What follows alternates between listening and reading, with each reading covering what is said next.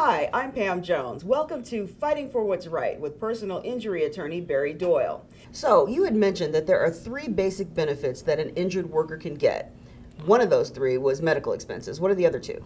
The other two are temporary total disability, that's the two thirds your average weekly wage while you're off. And the other is permanent partial disability, which is the lump sum settlement you get at the end of the case, and it's associated with the permanency that results from the injury. I'd like to discuss the disability benefit. How much is it? Okay, the basic temporary total disability benefit is two thirds of your average weekly wage. Now, basically, the idea behind this is that by paying somebody two thirds of their average weekly wage while they're off, it's enough money to sustain somebody, but it's not like they're getting paid for not working. It's going to be enough to keep a roof on their head, keep food on the table, but not let somebody just stay off work indefinitely. The way that the uh, amount gets calculated is based on the average of, of the last 52 weeks of work. Okay, that's how, how it gets calculated. There are some caveats with that though. One of those is that overtime is excluded from the calculation.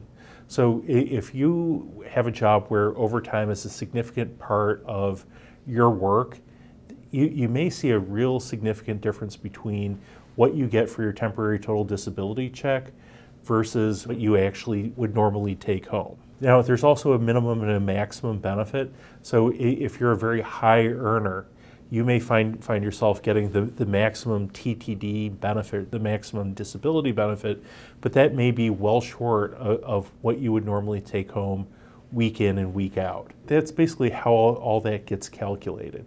So the, the key number in this is your average weekly wage. And it's an important number because it, it, applies not just with the disability benefit you get while you're off, but it, it also figures into the calculation for the settlement you get when the case is over. Oh, okay. Now, while you were saying that, I just had a random thought pop into my head.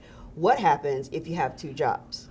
Okay, so if you have two jobs and your employer is aware of your second job, you actually add the wages that you make in both jobs into that calculation for what your average weekly wage is.